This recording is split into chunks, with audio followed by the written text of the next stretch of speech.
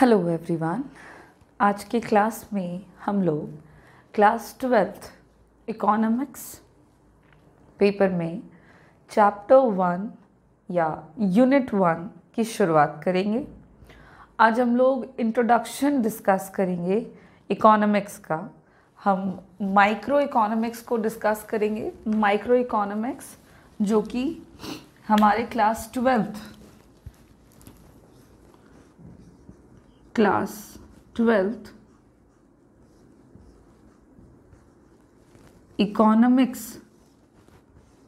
का जो सिलेबस है, वो दो पार्ट्स में डिवाइडेड है।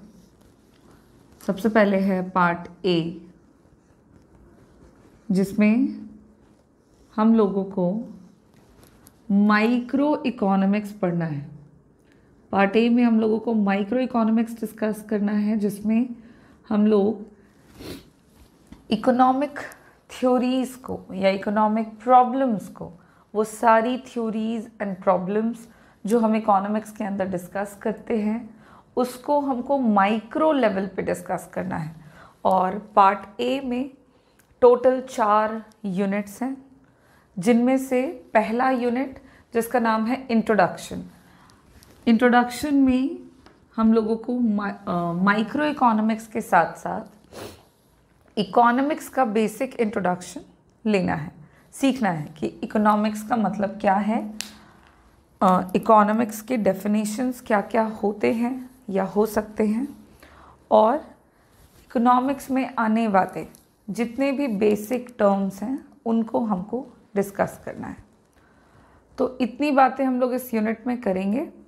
और आज से हम लोग इस यूनिट को स्टार्ट करने वाले हैं। सबसे पहले यूनिट वन इंट्रोडक्शन में हम लोग डिस्कस करेंगे इकोनॉमिक्स के मतलब के बारे में। इंट्रोडक्शन में सबसे पहले हमको इकोनॉमिक्स का इंट्रोडक्शन लेना होगा कि ये है क्या। इस टर्म का मतलब क्या है? तो देखिए इकोनॉमिक्स को हम कैसे डिफाइन कर सकते हैं? तो बहुत ही सिंपल तरीका है। थोड़ा हम लोगों ने एलेवेंथ में भी पढ़ा है। बेसिक इंट्रोडक्शन तो हम एलेवेंथ से सीख कर आते ही हैं। तो इकोनॉमिक्स को जब हम डिफ़ाइन करते हैं तो इसको डिफ़ाइन करते हुए हम कह सकते हैं कि economics is a subject in which we study economics subject है जिसमें हम पढ़ते हैं। अब सवाल है कि क्या पढ़ते हैं? तो यहाँ पे हम पढ़ते हैं about the economic problems economic problems के बारे में हम जहाँ कहीं पर भी स्टडी करते हैं उस सब्जेक्ट को हम इकोनॉमिक्स कहते हैं। आप इसको सिंपली बिल्कुल एक लाइन में इस तरह से डिफाइन करते हुए कह सकते हैं। Economics is a subject in which we study about the economic problems now the question arises what are the economic problems economic problem होती क्या है? इकोनॉमिक्स क्या है? ये तो पता चल गया। कि भाई जहाँ पर हम इकोनॉमिक प्रॉब्लम्स के बारे में डिस्कस करते हैं, पढ़ते हैं, उसे ही इकोनॉमिक्स कहते हैं। Now what are the economic problems अगर हम आर्थिक समस्याओं की बात कर रहे हैं तो हम इससे क्या समझते हैं? तो इकोनॉमिक प्रॉब्लम्स में मेन आपके दो प्रॉब्लम आते हैं। सबसे पहला तो ह्यूमन वांट्स आर अनलिमिटेड। जो मनुष्य की इच्छाएँ हैं, वो अनलिमिटेड है, असीमित हैं। हमारी जो इच्छाएँ होती है, वो असीमित होती हैं। और इन इच्छाओं को पूरा करने के लिए जो संसाधन की ज़रूरत पड़ती है, वो रिसोर्सेज हमारे कैसे हैं तो वो रिसोर्सेज लिमिटेड हैं। ह्यूमन वांट्स अनलिमिटेड है और रिसोर्सेज जो हैं वो लिमिटेड हैं, सीमित हैं, जिन साधनों से हम अपनी इच्छाओं को पूरा कर सकते हैं, वो साधन हमारे पास असीमित नहीं है, बल्कि उनकी मात्रा जो है वो सीमित है। तो जब भी हम किसी भी पर्टिकुलर चीज़ को डिमांड करते हैं, उसकी मांग करते हैं, और उसकी तुलना में मतलब मांग की तुलना में अगर उस वस्तु की जो पूर्ति है, जो सप्लाई है, वो कम हो, सीमित हो तो उस स्थिति में एक समस्या उत्पन्न होती है, जिसे हम स्कैरसिटी कहते हैं, कमी कहते हैं। अच्छा प्रॉब्लम सिर्फ़ यही नहीं है कि ह्यूमन वांट्स अनलिमिटेड हैं और रिसोर्सेज लिमिटेड हैं, बल्कि एक और यहाँ पे प्रॉब्लम है जो हम लोग कंसिडर ज़रूर करेंगे कि ये जो रिसोर्सेज सीमित हैं, सीमित होने के साथ साथ इन साधनों के ऑल्टरनेटिव यूजेस भी हैं। कहने का मतलब है कि जो भी साधन है, मान लीजिए कि आप रिसोर्स में पैसा कंसिडर कीजिए। हमारे केस में हम रिसोर्सेज की बात करेंगे, जिससे हम अपनी वॉन्ट्स को पूरा कर सकते हैं तो कंसिडर करते हैं मनी पैसा है, जिससे हम अपनी इच्छाओं को पूरा कर सकते हैं। ये पैसा जो है, ये कह रहे हैं, सीमित है। और सीमित ही नहीं, साथ ही साथ इसके ऑल्टरनेटिव यूजेस हैं। ऑल्टरनेटिव यूजेस बोलने का मतलब हुआ कि हम पैसों से एक के अलावा अलग अलग तरह के गुड्स एंड सर्विसेज़ को परचेज कर सकते हैं। आपके पास सौ रुपये हैं, आप मान लें, आपके पास सौ रुपये हैं। और इस पॉइंट ऑफ़ टाइम में आपको बहुत सारी चीज़ों की ज़रूरत है। आप, ज़रूरत नहीं है इच्छा रखते हैं आप, ठीक है? यहाँ पर हम वॉन्ट्स की बात कर रहे हैं। आपको पेन भी खरीदना है, आपको कॉपी भी खरीदनी है, आप बुक भी खरीदना चाहते हैं, आपको अच्छा सा खाना भी खाना है और घूमने भी जाना है और आपको कपड़ों की ज़रूरत है। तो एट अ टाइम हमने देखा कि आपकी इच्छाएँ बहुत ज़्यादा हैं, आपके वॉन्ट्स बहुत ज़्यादा हैं। अब उन इच्छाओं में अगर हम देखें तो आपके पास पैसे जो हैं उन इच्छाओं को जिससे आप पूरा कर सकते हैं। वो पैसे आपके पास सिर्फ़ सौ रुपये हैं, सीमित पैसा है, लेकिन इच्छा जो है वो असीमित है अनलिमिटेड है। अब इस केस में एक तो ये सिचुएशन है, दूसरा कि जो पैसा है, आप उसके और भी इस्तेमाल कर सकते हैं। जैसे आप उस सौ रुपये से पेन भी खरीद सकते हैं। अगर आपने पेन नहीं लिया तो आप कॉपी ले सकते हैं। अगर आपने कॉपी नहीं खरीदा तो आप उसी पैसे से किताब ले सकते हैं। तो इसको बोलेंगे हम लोग क्या? ऑल्टरनेटिव यूजेस कि जो साधन होते हैं, उस, उनके वैकल्पिक इस्तेमाल भी उनको हम कर सकते हैं। अलग अलग चीज़ों पर हम उस साधनों को यूज़ करके हम उन वस्तुओं को प्राप्त कर सकते हैं। और यहाँ से शुरुआत होती है इकोनॉमिक प्रॉब्लम्स की, कि भाई, जब इच्छाएँ असीमित हैं और रिसोर्सेज सीमित हैं और रिसोर्सेज के ऑल्टरनेटिव यूजेस भी हैं तब समस्या आती है, तब जो प्रॉब्लम अराइज हो जाता है, उस प्रॉब्लम को हम इकोनॉमिक प्रॉब्लम कहते हैं। क्या प्रॉब्लम अराइज हो जाता है? तो इससे अराइज होती है स्कैरसिटी जैसा कि मैंने अभी अभी बोला था कि जब आप किसी चीज़ की मांग करते हैं और उसकी तुलना में उसका सप्लाई कम है तो समस्या उत्पन्न होती है स्कैरसिटी की, कमी की। और जब स्कैरसिटी होता है, तब हर एक व्यक्ति को करना पड़ता है चॉइस तो ये जो चॉइस है, चुनाव, कि हम अपनी कौन सी इच्छा को पहले पूरा करें, किसको बाद में करें, जैसा कि मैंने एग्ज़ाम्पल दिया कि आपके पास सौ रुपये हैं और आपको उस सौ रुपये से आपकी इच्छाएँ सौ रुपये की तुलना में ज़्यादा हैं और आप उन सारी इच्छाओं को उस सौ रुपये से पूरा नहीं कर सकते तो फिर आपके पास कमी है पैसों की स्कैरसिटी है आपके पास पैसों की और उसकी वजह से अब आपको चुनाव करना होगा, अब आपको चॉइस करना पड़ेगा। चॉइस क्या का करना पड़ेगा? तो हमें चुनना होगा कि पहले हम अपनी कौन सी इच्छा को पूरा करें और फिर बाद में हम किसको पूरा करें। अच्छा सिर्फ़ यही समस्या नहीं है। चॉइस का पर्पस ये है। जब भी हम सिलेक्शन करते हैं चॉइस करते हैं तो चॉइस करने का पर्पस ये होता है कि हम, हमें मतलब अगर हम इंडिविजुअल के केस में बात कर रहे हैं तो हमें मैक्सिमम सेटिस्फैक्शन मिल सके। जब चॉइस किया जाता है तो ध्यान रखा जाता है कि इस तरह के गुड्स एंड सर्विसेज़ का चॉइस कर रहे हैं हम।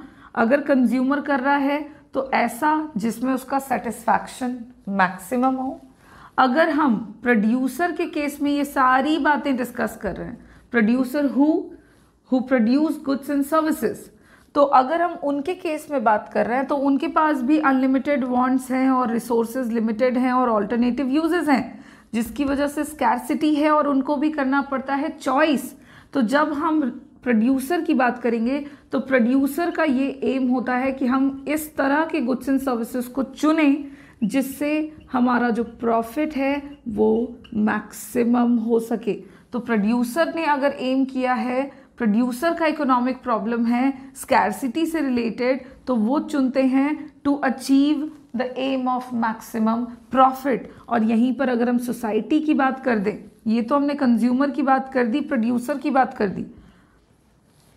अगर कंज्यूमर की बात करें, उपभोक्ता जो गुड्स एंड सर्विसेज़ को कंज्यूम करते हैं, अपनी ज़रूरतों को पूरा करने के लिए तो वो चुनाव कर रहे हैं तो उनका एम होगा मैक्सिमम सेटिस्फैक्शन वहीं पर अगर हम प्रोड्यूसर की बात कर दें, जो गुड्स एंड सर्विसेज़ को प्रोड्यूस करते हैं तो उनका एम होगा मैक्सिमम प्रॉफिट और वहीं पर अगर हम सोसाइटी की बात करें, समाज की बात करें, कि समाज के पास भी वही समस्या है, देखें कैसे? तो हर एक इंडिविजुअल का इकोनॉमिक प्रॉब्लम है, मेरा इकोनॉमिक प्रॉब्लम है, मेरे पास पैसे कम है कम है, सीमित हैं। और उन पैसों की अपेक्षा मेरे पास जो मांग है, मेरी जो इच्छाएँ हैं, वो अनंत हैं।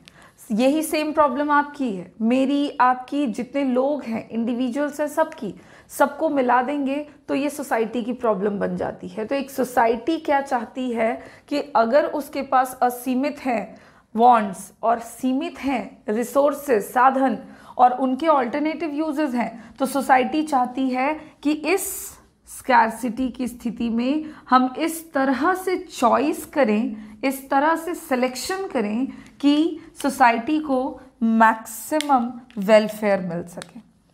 समाज का अधिकतम कल्याण हो सके। तो सोसाइटी जब चॉइस करेगी तो उसका एम रखेगी मैक्सिमम वेलफेयर तो जितने भी अलग अलग फैक्टर्स होंगे, उनको वो जब स्कैरसिटी की स्थिति में चॉइस मेक करते हैं चॉइसेस करते हैं तो उनके चॉइस करने का पर्पस अलग अलग हो जाता है। कंज्यूमर करेंगे तो वो मैक्सिमम सेटिस्फैक्शन चाहेंगे प्रोड्यूसर करेंगे तो वो कुछ इस तरह से चॉइस करेंगे कि उनको मैक्सिमम प्रॉफिट मिल जाए। और अगर एक सोसाइटी करती है choice in situation of scarcity तो वो चाहेगी कि उसे क्या मिले? मैक्सिमम वेलफेयर मिल जाए। And this is what the economics about economics इसी के बारे में है।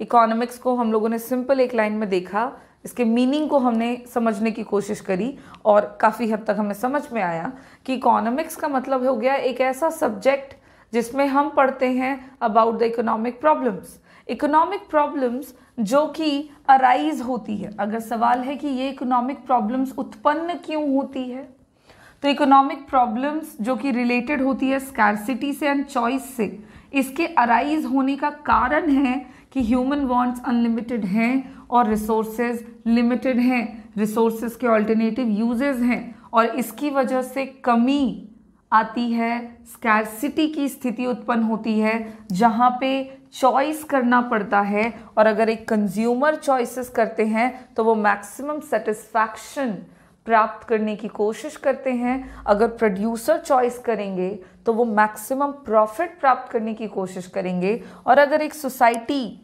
चॉइस करती है तो वो मैक्सिमम वेलफेयर को, समाज के कल्याण को बढ़ाने की कोशिश करती है। And this is the meaning of economics अब इसके मीनिंग को हम समझ चुके हैं। आप इसको डिफाइन अपने लैंग्वेज में इन सारे टर्म्स को इंक्लूड करते हुए कर सकते हैं। आप कह सकते हैं कि economics is the study of economic issues और economic problems arising out economic problems arising out of the fact that resources are limited resources are scarce आप कोई भी वर्ड यूज़ कर सकते हैं कि रिसोर्सेज की कमी है resources are scarce in relation to our wants हमारे वॉन्ट्स की तुलना में रिसोर्सेज क्या है? तो कम है. And they have resources have alternative uses too so that alternative uses so it focuses what focuses तो इकोनॉमिक्स जो है, वो फोकस करता है. It focuses on the management it focuses on the management of scarce resources in such a manner that a consumer gets maximum satisfaction, a producer gets maximum profit, or a society gets maximum welfare. This is the meaning of economics.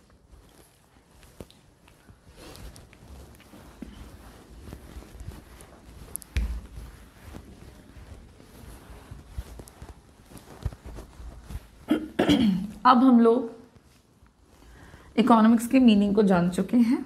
Now अगला जो topic होगा, उसमें हम बात करेंगे definitions of economics के बारे में. इकोनॉमिक्स की परिभाषा क्या है? ये तो मीनिंग है, जो अभी अभी हमने देखा.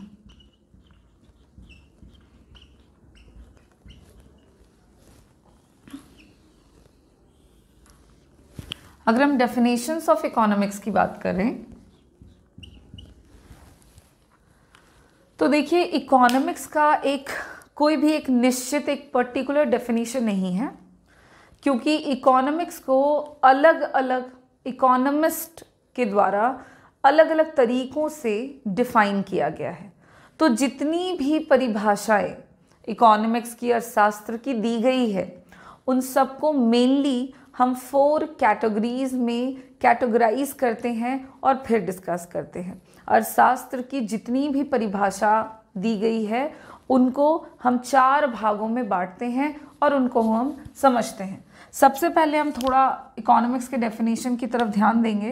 तो जब हम इकोनॉमिक्स के बारे में बात करेंगे, इसके डेफिनेशन के बारे में बात करेंगे तो हम सबसे पहला नाम लेंगे एडम स्मिथ का। क्यों हमने इनका नाम सबसे पहले लिया? तो एडम स्मिथ इकोनॉमिस्ट थे और इन्होंने फ़र्स्ट टाइम मतलब पहली बार इकोनॉमिक्स को डिफाइन किया था। एडम स्मिथ वो व्यक्ति हैं जिन्होंने पहली बार इकोनॉमिक्स को डिफाइन किया। फ़र्स्ट टाइम जो जिन्होंने भी इकोनॉमिक्स को डिफाइन किया है, उनका नाम है एडम स्मिथ अब ये वो व्यक्ति हैं जिन्होंने पहली बार अर्थशास्त्र पे ध्यान दिया और इसको डिफाइन करते हुए बताया कि इकोनॉमिक्स जो है, अगर हम डेफिनेशन की बात कर रहे हैं कि उन्होंने क्या बोला, अर्थशास्त्र को कैसे डिफाइन किया तो उन्होंने जो डेफिनेशन दिया, वो था कि economics is a science of wealth उन्होंने बोला कि अर्थशास्त्र जो है, वो धन का विज्ञान है। सबसे पहले इकोनॉमिक्स को डिफाइन करने वाले जो अर्थशास्त्री थे, उनका नाम था एडम स्मिथ इन्होंने पहली बार इकोनॉमिक्स की परिभाषा दी डेफिनेशन दिया। और डेफिनेशन जो इन्होंने दिया वो था कि economics is a science of wealth और इस डेफिनेशन को उन्होंने अपनी एक बुक में पब्लिश किया। सबसे पहले उन्होंने अर्थशास्त्र को परिभाषित किया और कहाँ किया? तो अपनी एक किताब में किया। उनकी बुक का नाम था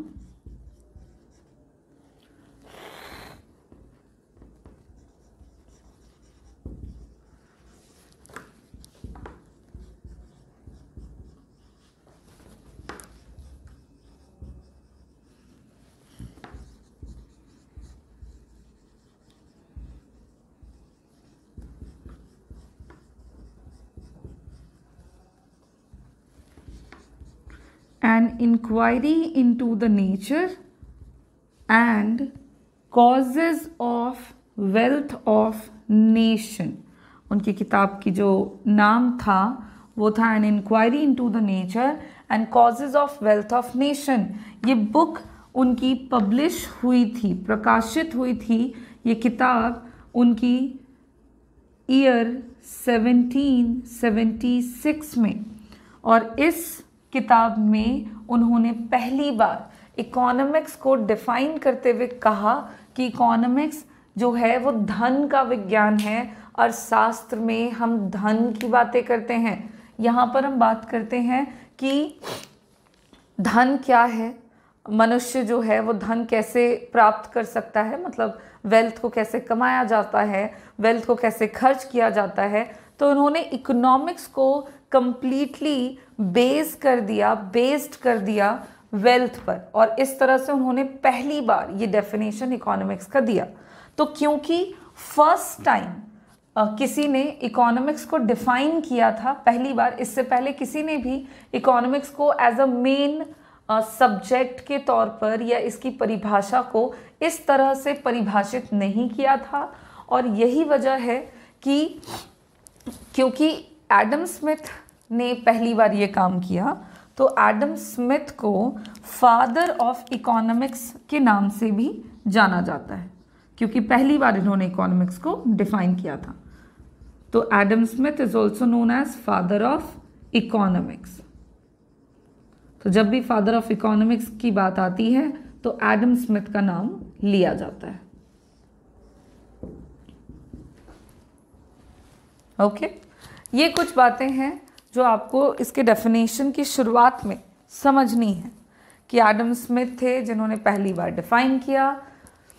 इनको फादर ऑफ़ इकोनॉमिक्स के नाम से जाना जाता है, क्योंकि इन्होंने पहली बार ये काम किया और इन्होंने इकोनॉमिक्स को धन का विज्ञान बताया और ये डेफिनेशन उन्होंने अपनी किताब में दी और जिनके किताब का नाम था an inquiry into the nature and causes of wealth of nation एक चीज़ और यहाँ पे आप जान लें बुक का नाम थोड़ा बड़ा लग रहा है।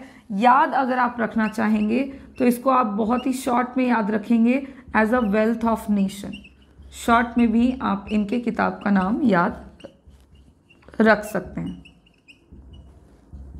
वेल्थ ऑफ़ नेशन और इस किताब में, ये वही किताब है, यही नाम है, इसको बस शॉर्ट कर दिया गया है, ताकि आप बच्चों को तकलीफ़ ना हो, इतना बड़ा नाम याद रखने में, ठीक है? तो ये हो गया इकोनॉमिक्स का डेफिनेशन और उनके शुरुआत के बारे में। अब जैसा कि मैंने बताया कि अब शुरुआत में एडम स्मिथ आए और उन्होंने इकोनॉमिक्स को डिफाइन किया। तो हुआ क्या कि और भी कई तरह के अर्थशास्त्री फिर आए अलग अलग उन्होंने बोला कि नहीं इकोनॉमिक्स में हम सिर्फ़ धन की बातें नहीं करते, बल्कि इसमें हम और दूसरी बातें करते हैं, जैसे कि कई इकोनॉमिस्ट आए जिन्होंने बोला कि इकोनॉमिक्स के अंदर हम तो बातें करते हैं अबाउट ह्यूमन वेलफेयर मानव कल्याण की बातें करते हैं। तो एक डेफिनेशन उसको कंसिडर किया गया कि इकोनॉमिक्स में हम बात कर रहे हैं कि एक मानव का कल्याण कैसे किया जा सकता है, कैसे बढ़ाया जा सकता है किन किन चीज़ों पर डिपेंड करता है, और उसके बाद ये दूसरा डेफिनेशन दूसरी कैटेगरी का डेफिनेशन आप कह सकते हो।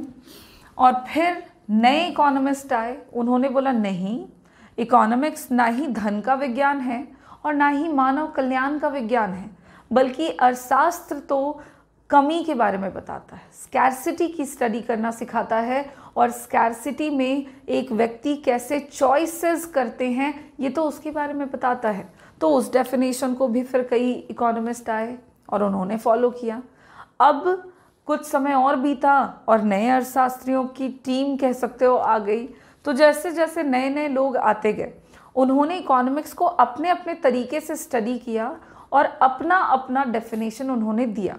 और फिर आए एक इकोनॉमिस्ट जिनका नाम था पॉल सैम्यूलसन और उन्होंने बोला कि इकोनॉमिक्स में हम ना ही सिर्फ़ धन की बातें करते हैं, ना ही सिर्फ़ मानव कल्याण की बातें करते हैं और ना ही हम सिर्फ़ स्कैरसिटी और चॉइसेस की बातें करते हैं, बल्कि इकोनॉमिक्स में तो हम इन सब की बातें करते हुए देश का विकास कैसे करना है सोसाइटी को ग्रो कैसे करना है, इसकी बातें करते हैं। और ये चौथा डेफिनेशन इकोनॉमिक्स का लिया गया और इस डेफिनेशन को as compare to all three definition ज़्यादा अप्रोप्रिएट माना गया, क्योंकि इस ग्रोथ ओरिएंटेड डेफिनेशन में इकोनॉमिक्स के सारे टर्म्स को, सारे पहलुओं को, हर एक एस्पेक्ट्स को इंक्लूड किया गया था। उसमें धन की भी बातें थी, उसमें मानव कल्याण की भी बातें थी, उसमें स्कैरसिटी एंड चॉइसेस की भी बात थी, और इन सब के साथ ग्रोथ कैसे होता है, इसकी भी चर्चा की गई थी।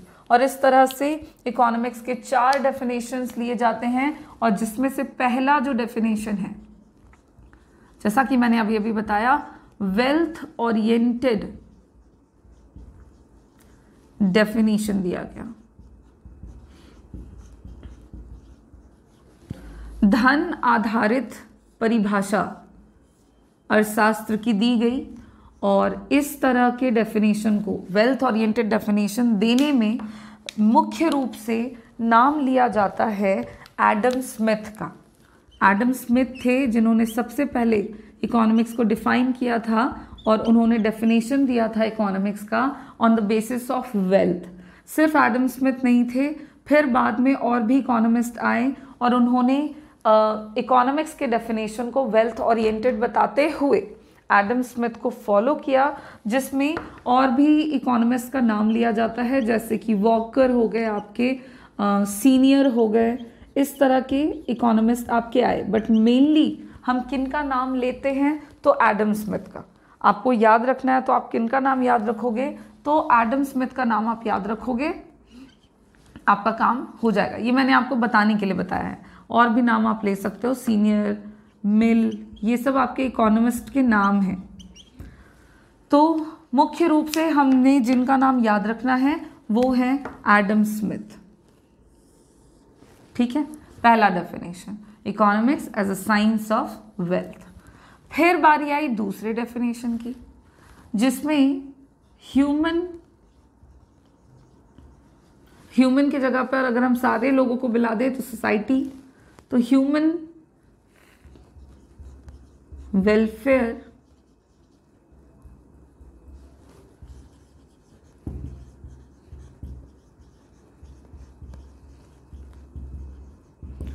ओरिएंटेड डेफिनेशन भी दिया गया और वेलफेयर ओरिएंटेड डेफिनेशन देने में मुख्य रूप से जिनका योगदान है या जिन्होंने पहली बार इकोनॉमिक्स को डिफाइन किया as a human welfare science of human welfare उसमें मेनली नाम लिया जाता है प्रोफेसर अल्फ्रेड मार्शल का।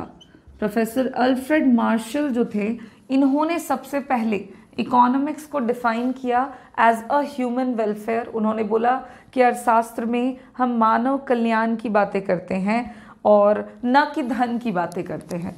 फिर बाद में और भी इकोनॉमिस्ट आए जिन्होंने इनको फॉलो भी किया और कहा कि हाँ इकोनॉमिक्स जो है वो वाकई में ह्यूमन वेलफेयर की बातें करता है, जिसमें हम पीगो का नाम ले सकते हैं स्टिगलर जो हैं, उनका नाम लेते हैं कैनन का नाम लेते हैं। इस तरह से और भी इकोनॉमिस्ट आते गए और उन्होंने एडम स्मिथ के डेफिनेशन को सपोर्ट करते हुए उसको वेलफेयर ओरिएंटेड डेफिनेशन बताया। मेनली हमने ह्यूमन वेलफेयर ओरिएंटेड डेफिनेशन में किन का नाम याद रखना है? तो अल्फ्रेड मार्शल का नाम हम याद रखेंगे। उसके बाद बारी आ गई तीसरे डेफिनेशन की, जो कि थी स्कैरसिटी ओरिएंटेड डेफिनेशन फिर परिभाषा आई इकोनॉमिक्स की, कि अर्थशास्त्र में हम धन की बात नहीं करते। अर्थशास्त्र में हम मानव कल्याण की बातें भी नहीं करते। बल्कि अर्थशास्त्र तो हमें बताता है कि किस तरह से कमी की स्थिति में चॉइस किया जाता है। कमी कब उत्पन्न होती है? चॉइसेस कब करने पड़ते हैं? Scarcity oriented definition in relation to choices in relation to unlimited wants इन सब पे बेस्ड करते हुए इकोनॉमिक्स का डेफिनेशन दिया गया और इस डेफिनेशन को देने में मुख्य रूप से नाम लिया जाता है एल रॉबिन्स का, जिनका पूरा नाम है लियोनल रॉबिन्स का। सिर्फ़ यही नहीं, फिर लियोनल रॉबिन्स के द्वारा दिए गए डेफिनेशन को भी और भी कई तरह के अर्थशास्त्रियों के द्वारा फॉलो किया गया, इसको भी बढ़ावा दिया गया और उसमें भी नाम लेते हैं हम लोग, जैसे कि विक स्टीड थे हमारे, ये एक इकोनॉमिस्ट थे और भी कई तरह के इकोनॉमिस्ट थे, जिन्होंने बोला कि हाँ इकोनॉमिक्स में हम लोग स्कैरसिटी की बातें करते हैं।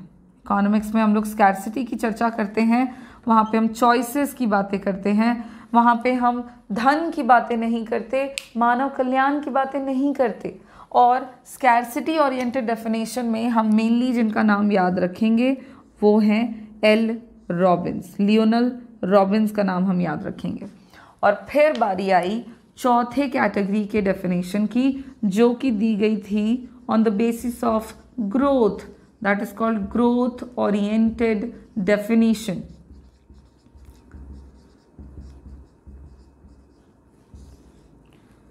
growth oriented definition जो है, ये आपका दिया गया था प्रोफेसर पॉल सैम्यूलसन के द्वारा। जिनको शॉर्ट में हम पी सैम्यूलसन के नाम से भी जानते हैं, इन्होंने इकोनॉमिक्स को डिफाइन करते हुए बोला कि इकोनॉमिक्स जो है, वो ग्रोथ की बातें बताता है। वो बताता है कि किस तरह से इकोनॉमिक्स में हम धन को कमाना सीखते हैं, धन को खर्च करना सीखते हैं ह्यूमन वेलफेयर को बढ़ाना सीखते हैं, साथ ही साथ हम वहाँ पर स्कैरसिटी की बातें करते हैं और वहाँ वहाँ पे, इन सब के साथ हम कैसे समाज का और देश का ग्रोथ हो, इन सब की चर्चा करते हैं। ग्रोथ ओरिएंटेड डेफिनेशन और ये डेफिनेशन पॉल सैम्यूलसन के द्वारा दिया गया और इसमें, इस तरह के डेफिनेशन में मुख्य रूप से पॉल सैम्यूलसन का योगदान माना जाता है और आपको इनका नाम याद रखना है। तो ये चार अलग अलग कैटेगरी के डेफिनेशंस थे। इकोनॉमिक्स के और हमें इन चारों कैटेगरी के डेफिनेशंस को जानना है डिपेंड करता है। ये हमारे ऑब्जेक्टिव टाइप क्वेश्चन के लिए है कि आपको इकोनॉमिक्स इकोनॉमिस्ट के नाम जानने हैं विद देयर डेफिनेशन कि किस तरह का डेफिनेशन उन्होंने दिया है। अक्सर पूछे जाते हैं हमारे ऑब्जेक्टिव टाइप क्वेश्चंस में। और यहाँ पे हमारा जो डेफिनेशन ऑफ़ इकोनॉमिक्स है, ये भी कंप्लीट होता है। अब आज के क्लास में हम लोगों ने क्या क्या डिस्कस किया? तो आज हम लोगों ने मीनिंग ऑफ़ इकोनॉमिक्स को डिटेल में डिस्कस किया है, साथ ही साथ हमने डेफिनेशन ऑफ़ इकोनॉमिक्स पढ़ा फादर ऑफ़ इकोनॉमिक्स की बातें हम लोगों ने करी एडम स्मिथ से रिलेटेड कुछ फैक्ट्स हमने डिस्कस किए और अब हम लोग नेक्स्ट क्लास में इस टॉपिक के नेक्स्ट इस टॉपिक के बाद के टॉपिक को डिस्कस करेंगे। Thank you